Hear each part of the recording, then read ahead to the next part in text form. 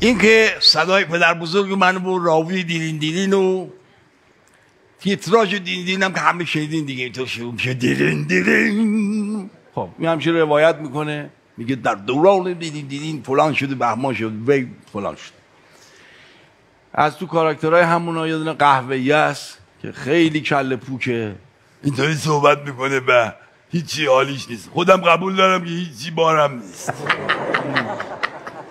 یه دونه قرمز اونم جزو سکله توی ابله صداش تو گلویه این مدلی صحبت می‌کنه. ضمن بلاحتش یه خود معصوم هم هست. البته بعضی وقتا بدجنس میشه. یه دونه هست که اون پیرن آبی است. اینا هر کدوم اسمی دارن و قهویانی نمی‌دونم آبی کمرنگانی قرمزانی.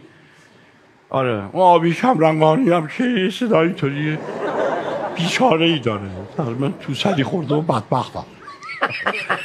یه دونه هست که یه قوسای علکی داره. یعنی انگار که لحجه من در آوردی هم من اینو تو سوتی یکی از دوستام در آوردم که چه سوتی داده بود؟ خسته بودیم تو استودیو بودیم پای تلویزیون. یه کلیپی داشت نشون می‌داد توش. خیلی از این بار هندوانه و اینا بود. بعد این هندونه ها رو داشت می‌دید و خوابش هم بیماد کرد وای چقدر دلم الان از یه هندونیا می‌خواست. هندونیا؟ آره گفتم چی؟ گفت گیر نده دیگه. گیر نه حالا یه چیزی از در من در رفت. اسمشو بگم تو میشناسیش. مهدی صفیاری.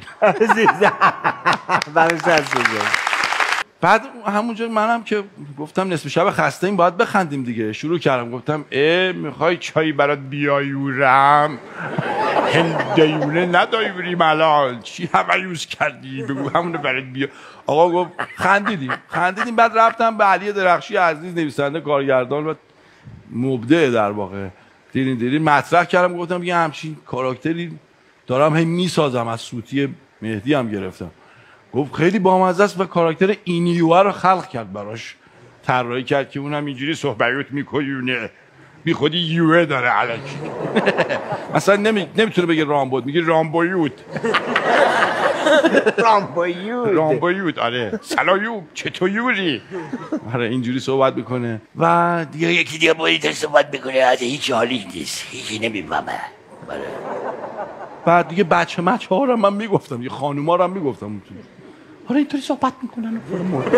بچه اینطوری میگه بابایا بابایا.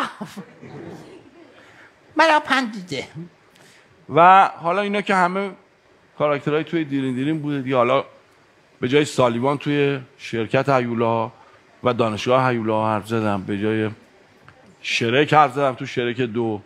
شرک رو بگو. شرک. شرک اینطوری حرف می‌زنه. یه اینا تو کلت فرو کن پرنسس. که من یه قولم یه قول.